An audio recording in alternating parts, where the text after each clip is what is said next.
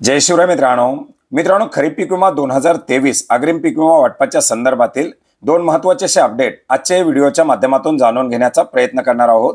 मित्रांनो याच्यामधील पहिला अपडेट आहे धाराशिव जिल्ह्याच्या संदर्भातील.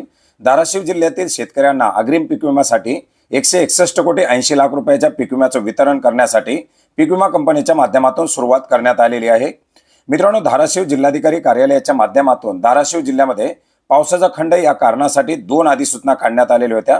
याच्यामधील पहिल्या अधिसूचनेमध्ये चाळीस महसूल मंडळाला पात्र करून पीक विमा वितरण करण्यासाठी आदेश देण्यात आलेले होते.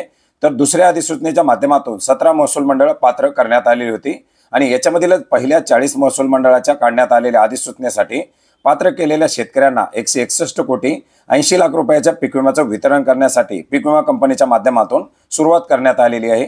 याच्यामध्ये धाराशिव तालुक्यातील शेतकऱ्यांना अठ्ठेचाळीस कोटी एकोणसाठ लाख रुपयाच्या पीक विम्याचं वितरण केलं जाणार आहे. तुळजापूर तालुक्यासाठी चाळीस कोटी सत्याऐंशी लाख कळंब तालुक्यातील शेतकऱ्यांसाठी सतरा कोटी तेरा लाख रुपये तर भूम तालुक्यातील शेतकऱ्यांसाठी चार कोटी सोळा लाख रुपयाच्या पीक विम्याची नुकसान भरपाई दिली जाणार आहे.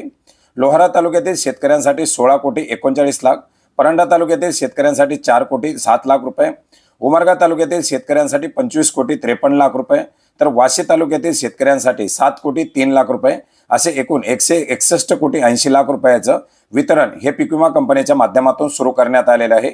मित्रांनो याचबरोबर धाराशिव जिल्ह्यामध्ये दुसरी अधिसूचना ही सतरा महसूल मंडळाची काढण्यात आलेली होती आणि याच्यासाठी सुद्धा पीक विमा कंपनी आणि प्रशासनामध्ये बातचीत सुरू आहे त्याच्या चर्चा सुरू आहेत आणि याचं देखील वाटप दिवाळीपूर्वीच होईल अशा प्रकारची शक्यता प्रशासनाच्या माध्यमातून सांगण्यात आलेली आहे. मित्रांनो याचबरोबर दुसरं अपडेट आहे ते म्हणजे जळगाव जिल्ह्याच्या संदर्भातील. जळगाव जिल्ह्याच्या अधिसूचनेच्या संदर्भात देखील मोठ्या प्रमाणात प्रशासन आणि पीक विमा कंपन्यामध्ये चर्चा सुरू झालेल्या आहेत आणि याच्यासाठी पालकमंत्र्यांच्या माध्यमातून एक महत्वाची अशी बैठक पार पडलेली आहे. आणि याच बैठकीमध्ये जळगाव जिल्ह्यातील प्रलंबित असलेला केळीचा पीक विमा याचबरोबर खरीप हंगाम दोन हजार तेवीसमध्ये पात्र करण्यात आलेला सत्तावीस महसूल मंडळाचा अग्रिम पंचवीस टक्के पीक विमा हा सुद्धा दिवाळीपूर्वीच वितरण करण्याचे निर्देश देण्यात आलेले आहेत आणि कंपनीच्या माध्यमातून त्याला सकारात्मक प्रतिसाद सुद्धा देण्यात आलेला आहे. मित्रांनो याच्यामध्ये सुद्धा चाळीसगाव तालुक्यामध्ये मोठ्या प्रमाणात नुकसान झालेलं आहे. चाळीसगाव तालुक्यामध्ये गंभीर स्वरूपाचा दुष्काळ देखील जाहीर झालेला आहे आणि याच्यासाठी चाळीसगाव तालुक्यामधील साधारणपणे सत्तावन्न हजार शेतकऱ्यांना पंचवीस टक्के पीक विम्याचा लाभ देखील मिळणार आहे. मित्रांनो अशा प्रकारे हे धाराशिव आणि जळगाव जिल्ह्याच्या पीक विम्याच्या संदर्भातील महत्त्वाचे असे अपडेट होते. मित्रांनो याचबरोबर अकोला जिल्ह्यामध्ये सुद्धा तीन तारखेपासून पीक विम्याचं वितरण व्हायला सुरू झालेलं आहे. इतरही जिल्ह्यामध्ये हळूहळू पीक विम्याचं वितरण होईल.